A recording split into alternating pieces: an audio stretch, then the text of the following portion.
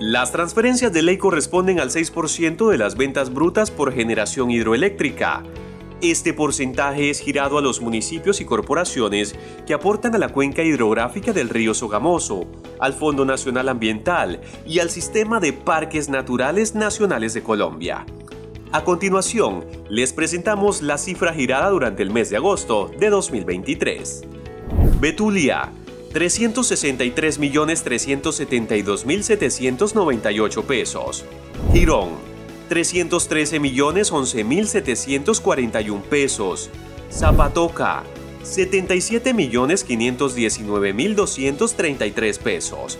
San Vicente de Chucurí, 21.370.488 pesos. Los Santos, 19.336.977 pesos. Lebrija, 1.832.394 pesos. Corporación Autónoma de Santander CAS, 1.162.200.930 pesos.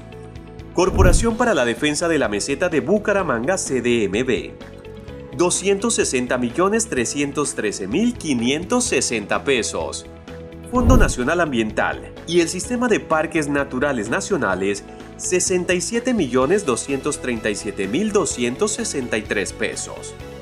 Los 149 municipios restantes de los departamentos de Boyacá, Cundinamarca y Santander que aportan a la cuenca del río Sogamoso recibieron una suma total de 693.330.469 pesos. Recuerda, los municipios deberán utilizar estos recursos en al menos un 50% en proyectos de agua potable, saneamiento básico y mejoramiento ambiental.